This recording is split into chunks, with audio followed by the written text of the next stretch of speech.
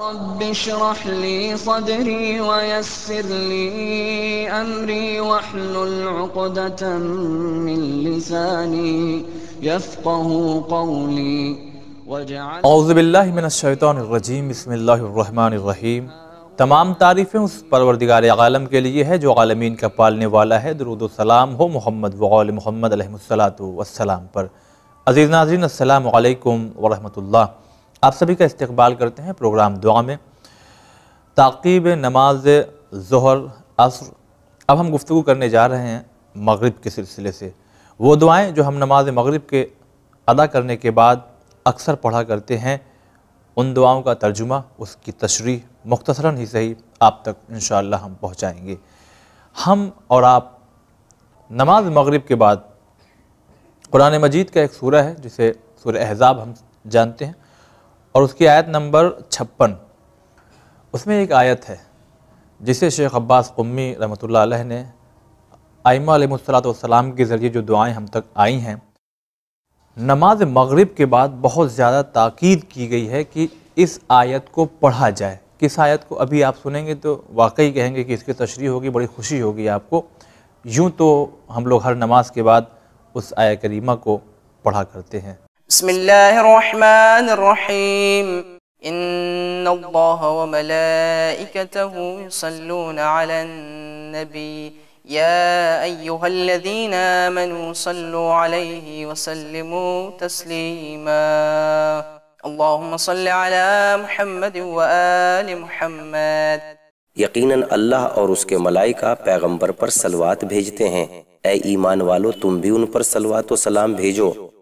خدایا نبی کریم حضرت محمد اور ان کی ذریت اور ان کے اہل بیت پر رحمت نادل فرما۔ تو ناظرین آج انشاءاللہ اس کے بارے میں ہم گفتگو کریں گے۔ ہمارے ساتھ میں آج بھی موجود ہیں۔ حجت الاسلام والمسلمین علی جناب مولانا سید روح ظفر رضوی صاحب۔ اگر السلام علیکم ورحمۃ اللہ علیکم السلام ورحمۃ اللہ وبرکاتہ۔ تو پہلا سوال یہی ہے کہ قرآن مجید میں اتنی ساری آیات مگر اس ایک آیت کو کیوں منتخب کیا گیا؟ کچھ خاص وجہ؟ یہاں پر جب مغرب کی نماز کے بعد جو ہمیں حکم دیا گیا ہے تعقیب کے لیے طور پر اس آیت کو پڑھنے کا حکم دیا گیا ہے۔ اور خاص کر کے اس کے آخر میں ضروریت و اہل بیت پر بھی درود و سلوات کا حکم دیا گیا ہے۔ جی، اور اس کو پڑھا جاتا ہے۔ وجہ یہ ہے کہ خدا بند عالم نے نبی کریم کو جو مرتبہ عطا کیا ہے اس قدر بلند و بالا مرتبے کے حامل ہیں اتنی عظیم شخصیت ہے کہ اس عالم ہستی کا خود پیدا کرنے والا خدا بند عالم اور اس کی طرف سے اس کائنات کی تدبیر کرنے والے تمام فرشتے۔ ہر فرشتے کے ساتھ ساتھ کائنات کی تدبیر کرنے والے۔ کہ کتنی عظمت ہے نبی کریم کی کہ ساری کائنات کی جو تدبیر کر رہے ہیں ان کو یہ معلوم ہو کہ یہ کائنات کس کے صدقے میں خلق ہوئی ہے۔ جی۔ یہ سارے فرشتے اس پر درود و سلام بھیجتے ہیں اس کا اتنا مرتبہ بلند ہے۔ تو اب یہاں پر خدا بند عالم اپنے حکم کے بعد کے جو فرشتوں کو اس نے دیا ہے صاحبان ایمان کو یہی توفیق دینا چاہتا ہے کہ وہ بھی فرشتوں کے ساتھ شامل ہو جائے وہ بھی اللہ کے ساتھ شامل ہو جائیں۔ درود و سلام بھیجیں نبی پر اور اس کے ساتھ ساتھ ان کو سلام کریں سر تسلیم خم کر لیں۔ اس آیت میں یہ جو حکم دیا جا رہا ہے اس لیے خاص کر کے اس کو ہمیشہ پڑھا جاتا ہے۔ اور واقعاً عالم ہستی یہ جو پورا پیدا کیا گیا خدا بند عالم کی جانب سے عالم ہے اس کا ایک انمول گوہر ہے۔ جی۔ نبی کریم کی ذات بہت ہی عظیم ذات ہے جو تمہیں میسر ہو گیا ہے۔ ایسا نہ ہو کہ اس کی ناقدری کرو نہ جانو اس کی قدر کو نہ سمجھو۔ نہیں۔ عظمت کو اس کو بھلانا نہیں چاہیے۔ یہ صحیح ہے کہ یہ تمہارے درمیان ہے لیکن یہ تم انسانوں سے بلند و برتر ہے۔ بے شک۔ فرشتے اس پر نازل ہوتے ہیں وحی اس پر نازل ہوتی ہے۔ تمام رسولوں کا سردار ہے سب کچھ۔ یہ ساری عظمتوں کو دیکھنے کے بعد مختصر یہ کہ سمجھ لو کہ کائنات ہستی اس کا اگر خلاصہ ہے تو یہ خود پیغمبر اسلام کی ذات ہے۔ بے شک۔ اتنی عظیم ہستی ہے اس کو بھلانا نہیں چاہیے۔ لہٰذا ہر نماز کے بعد اس کی آیت کو تلاوت کر کے ان پر درود بھیجنا چاہیے تاکہ وہ عظمت جس میں فرشتے شامل ہیں اس عظمت میں یہ انسان بھی شامل ہو جائے۔ اور یہیں پر بات کو اور آگے بڑھاتے ہوئے پیغمبر اسلام کے زمانے میں ہی جی۔ ایک یہودی شخص آیا اور اس نے آ کے حضرت علی ابن ابی طالب علیہ السلاۃ والسلام کی خدمت میں عرض کیا اے علی اللہ نے اپنے بھیجے ہوئے تمام نبیوں کو کچھ معجزے عطا کیے ہیں۔ یا فضیلت و برتری عطا کی ہے۔ آدم کے سامنے سارے فرشتوں کو جھکا کے سجدہ کروا کے آدم کو برتری عطا کیا ہے۔ تو کیا محمد صلی اللہ علیہ وآلہ وسلم پر بھی کوئی معجزہ کوئی ان کا امام نے یہ کہا کہ آدم کے سامنے سجدہ کروا کے خدا نے اپنا یہ بتا دیا کہ فرشتوں آدم تم سے برتر ہیں۔ لیکن یہ صرف برتری کو بیان کیا ان کو سمجھا دیا۔ لیکن محمد صلی اللہ علیہ وآلہ وسلم کو جو خدا بند عالم نے معجزہ دیا ہے وہ یہ ہے کہ درود و سلام کا تحفہ فرشتوں کو پیش کیا ہے کہ جس کے ذریعے سے وہ عبادت کر رہے ہیں۔ اچھا سبحان مومنین بھی اس میں شامل ہیں عبادت قرار دیا ہے۔ یعنی کہا کہ دیکھو تم جو یہ پوچھ رہے ہو تو ہمارے نبی کو یہ فضیلت عطا کی ہے کہ سب ان کی اطاعت کرتے ہیں۔ ان پر سلوات بھیج کے عبادت خدا کی ہو رہی ہے ان کے ذریعے سے یہ فضیلت اور اس کے بعد مولا نے ایک جملہ کہا یہ وہ بات ہے کہ جس کی تصدیق تم خود کرتے ہو۔ یعنی یہودیوں کے یہاں بھی یہ بات ثابت ہے۔ لہٰذا درود و سلام بھیج کر ہم اللہ کے ساتھ بھی شامل ہو رہے ہیں فرشتوں کے ساتھ بھی شامل ہو رہے ہیں اور ان کے اطاعت کو تسلیم کر کے ہم اپنے آپ کو اور کامیاب بنا رہے ہیں۔ جی اگر سبحان اللہ ایک سوال یہ بھی ہمارے ناظرین کے ذہن میں پیدا ہو سکتا ہے۔ اللہ فرشتے درود و سلام بھیجتے ہیں مومنین بھی بھیجتے ہیں۔ تو کیا فرق ہے ان کے سلام بھیجنے میں خدا کے سلام بھیجنے میں ہمارے درود و سلام بھیجنے میں؟ آپ کے سوال سے پہلے میں عرض کر دوں کہ یہ چیز فرق ہو یا نہ ہو لیکن جو چیز کامن مشترک ہے کہ اللہ بھی سلوات بھیج رہا ہے فرشتوں بھی فرشتے بھی بھیج رہے ہیں اور بندے بھی بھیج رہے ہیں۔ جی۔ سلوات بھیجنے کے عمل میں خدا بندے فرشتے سب ایک ساتھ شریک ہیں۔ اچھا۔ فرق جو بیان کیا گیا ہے کہ یہ لفظ سلوات جو ہے یہ جو کہہ رہے ہیں آپ کے سلوات بھیج رہے ہیں یہ سلوات جمع سلاد کی۔ اور جب اس کلمے کی اس لفظ کی نسبت اللہ تعالیٰ کی طرف دی جاتی ہے تو اس کے معنی کچھ اور ہوتے ہیں۔ جب بندوں کی طرف نسبت دی جاتی ہے تو اس کے معنی کچھ اور ہوتے ہیں۔ دونوں کے معنی بدل جاتے ہیں۔ جب اگر ہم یہ کہیں کہ ان اللہ و ملائکتہ یصلون یعنی ان اللہ یصلو، اللہ سلوات بھیج رہا ہے۔ جب اللہ کی طرف اس کی نسبت دی جاتی ہے تو اس کا مطلب یہ ہوتا ہے کہ خدا وند عالم اپنی رحمتوں کو، درود کو نازل کر رہا ہے۔ اچھا۔ ٹھیک ہے۔ اب جو یہاں پر یہ کہا کہ اللہ سلوات بھیج رہا ہے یعنی اللہ محمد اور آل محمد پر اپنے اپنی رحمتوں کو نازل کر رہا ہے۔ نازل کر رہا سبحان اللہ۔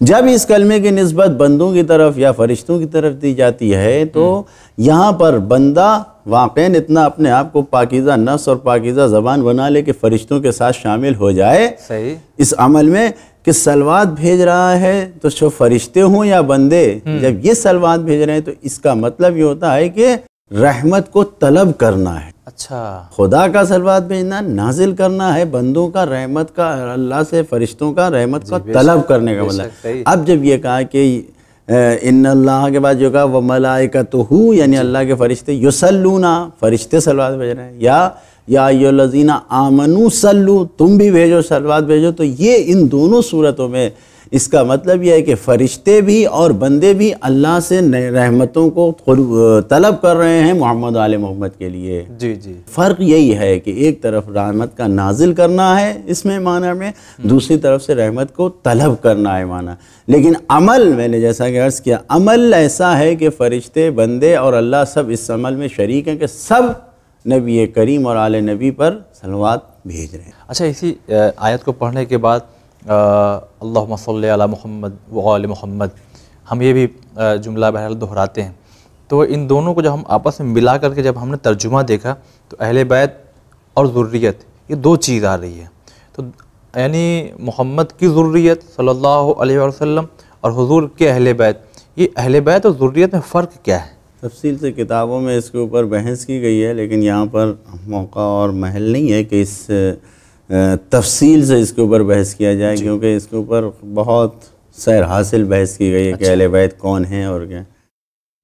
مفردات راغب میں جس طریقے سے معنی کیا ہے ذریت ہم، ان کو کہتے ہیں کہ جو نسل میں ہیں یعنی انسان کے سلب اور نسل سے ایک کے بعد دوسرا پیدا ہوا صغیر و کبیر یعنی صغاروں کے بعد جو چھوٹے بڑے سب پر شامل ہیں جو انسان کی خود نسل سے ہیں۔ اچھا ٹھیک ہے۔ یہ ضروریت کے معنی بیان۔ کیے اور اہل کے جو معنی بیان کیے ہیں اہل بیت جب جب ہم کہہ رہے ہیں تو اہل بیت میں فقط ضروریت نہیں ہے۔ تو جو رشتے کے ذریعے بھی شامل ہیں کیونکہ تمام لغت لکھنے والوں نے اہل بیت کے بعد یہی لکھا ہے کہ اس کے معنی یہ ہیں یہ ہیں یہ ہیں لیکن یہ لکھا ہے کہ یہ کلام عرب میں مشہور و معروف ہے اہل بیت پیغمبر سے۔ اچھا اچھا۔ جب اہل بیت کہا جاتا ہے تو یہ صرف اور صرف پیغمبر کے اہل بیت۔ تو وہاں پر یہاں پر مراد یہ ہے کہ بیٹی داماد نواسے جو بھی سب شامل ہو جاتے ہیں یہاں جی۔ پر۔ اور خاص طور سے ذکر کیا ہے لغت کے لکھنے والوں نے باقاعدہ کہ اہل بیت سے مراد پنجتن پاک یعنی یہاں پر خود پیغمبر اسلام کے بعد جو آیت تطہیر کے حوالے سے بحث کی گئی ہے پیغمبر اسلام کے بعد جناب شہزادی کائنات حضرت صدیقہ طاہرہ فاطمۃ الزہرا سلام اللہ علیہ ہے اور ان کے شوہر حضرت علی علی مرتضیٰ علیہ السلام والسلام ہیں اور ان کے دونوں بیٹے ہیں۔ جناب حسنین علیہ السلام امام حسن علیہ السلام جو سبت اکبر ہیں اور امام حسین علیہ السلام جو سبت اصغر ہیں۔ یہ چار اہل بیت میں شامل ہیں۔ ذریت میں یہ اہل بیت جو یہاں پر اس دعا میں وہ اہل بیت ہی و ذریتی جو آیا ہے ذریت میں جتنے آئیں گے چھوٹے بڑے سب شامل ہو جائیں گے۔ یعنی صرف مولا کائنات امام حسن امام حسین نہیں ہے پیغمبر۔ اچھا۔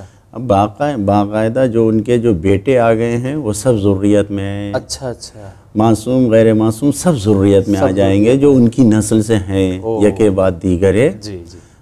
تو یہاں پر جو یہ سلوات بھیجا جا رہا ہے مخصوص کم سے کم جو کہا گیا ہے یہاں پہ مراد اہل بیت اطہار علیہ السلام یعنی پنجتن پاک اور بارہ امام چودہ معصومین پر سلوات بھیجنے کو یہاں پر عبادت قرار دیا گیا ہے۔ بہت سی دعائیں ہیں بہت سے ایسے اعمال ہیں جو انجام دینے کا حکم دیا گیا ہے اور اکثر جو ہے اس کے ثواب بیان کیے گئے ہیں۔ ہم چاہتے ہیں کہ اس دعا کو جو ہم نماز مغرب یا یوں کہیں کہ ہر نماز کے بعد پڑھتے ہیں مگر نماز مغرب میں اس کی زیادہ تاکید ہے۔ یہ حکم کی بنا پہ ہے کہ حکم ہے لہذا کرو اتنا کہ سلوات تو بھیجنا ہی ہے یا اس کے اور بھی فوائد بیان کیے گئے ہیں۔ دیکھیے حکم کہ قرآن مجید میں بہت سے احکام کو بیان کیا گیا ہے۔ انسان کے اوپر لازم ہے کہ قرآن مجید کی تعلیمات پر عمل کرے واجب ہے۔ اور یہ ایک ایسا حکم ہے کہ واجب نہیں قرار دیا گیا۔ ہے اچھا۔ لیکن کہ اگر انسان سلوات نہ بھیجے بھیجے تو پھر مشکل ہے اعمال کا قبول ہونا۔ لہذا خود اس عمل میں حکم کے ساتھ ساتھ فائدے بھی پائے جاتے ہیں۔ اچھا بیان کیجیے مولا متقیان حضرت علی علیہ السلاۃ والسلام سے روایت مستدرک الوسائل میں محدث نوری نے ذکر فرمایا ہے۔ اس کو ہم ترجمہ پیش کرتے ہیں یہاں پر زیادہ عربی عبارت نہیں۔ پیغمبر اسلام پر جو افراد سلوات بھیجتے ہیں تو اس سلوات بھیجنے کے عمل کو کیا قرار دیا گیا ہے؟ گناہوں کا کفارہ قرار دیا یعنی گناہ پاک ہو جاتے ہیں۔ اوہ سبحان اللہ۔ یہ فائدہ ہے؟ بے شک۔ میں مولا علی علیہ السلام کے قول کا ترجمہ پیش کروں۔ جس طریقے سے پانی آگ کو بجھا دیتی ہے اوہ اچھا۔ اس سے بہتر طریقے سے نبی کریم پر سلوات بھیجنا اس سے بہتر طریقے سے گناہ کو صاف کر دیتا ہے۔ اللہ اکبر سبحان اللہ۔ اللہ کائنات فرما رہے ہیں۔ عظیم تحفہ ہمارے لیے۔ یعنی گناہیں جو انسان اس دنیا میں گناہوں کا بوجھ لے کے نہ جائے زیادہ سے زیادہ سلوات بھیجے۔ یہ فائدہ ہے لہذا انسان کو غور کرنا چاہیے کہ آزاد ہونے کے لیے گناہوں سے اس سے بہتر کوئی اور چیز نہیں ہے۔ صحیح۔ اور اسی طریقے سے خود مولا کائنات نے فرمایا کہ انسان نبی کریم پر اگر سلوات بھیجتا ہے تو غلام آزاد کرنے سے بہتر ہے۔ اچھا جبکہ غلام آزاد کرنے کتنا ثواب اس سے بہت بھی ثواب، بہتر اس سے بہتر اس عمل کو قرار دیا۔ ہے اور اسی طریقے سے ہمارے آٹھویں امام فرزند رسول حضرت امام رضا علیہ السلام نے فرمایا گناہ انسان سے ہوتے ہیں بہت سے گناہ ایسے ہیں کہ جس کا کفارہ ادا کرنا انسان کے لیے مشکل ہے۔ مشکل ہے اچھا۔ ممکن نہیں ہے نہیں انجام دے سکتا۔ تو آپ نے فرمایا کہ محمد اور آل محمد پر زیادہ سے زیادہ سلوات بھیجو اس لیے کہ جن گناہوں کا کفارہ تم نہیں ادا کر سکتے ان گناہوں کا کفارہ زیادہ سے زیادہ سلوات بھیجنا ہے۔ سبحان اللہ۔ اور یہی نہیں ہے دنیاوی فائدے بھی بیان کیے گئے ہیں۔ مثلا گناہ سے تو انسان اس لیے پاکیزگی حاصل کر رہا ہے کہ آخرت میں عذاب سے بچ جائے۔ جی۔ اگرچہ گناہ کا گناہوں سے انسان اپنے آپ کو بچائے تو یہ دنیا میں بھی اس کے فائدے ہیں کہ انسان نورانی رہتا ہے۔ صحیح بات۔ انسان برکتیں حاصل کرتا ہے۔ لیکن یہ زیادہ تر جو یہ دعوتوں میں کہ گناہ سے محفوظ اپنے کو کر رہا ہے یعنی آخرت میں اپنے کو عذاب سے بچا رہا ہے۔ بچا رہا ہے جی۔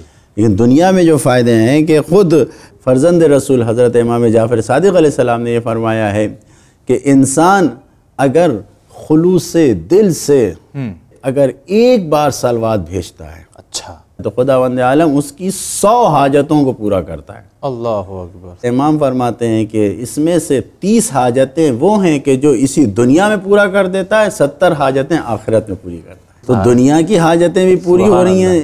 ایک سلوات خلوص سے بس یہی ہے۔ انسان خیال رکھے کہ خلوص نیت ہو۔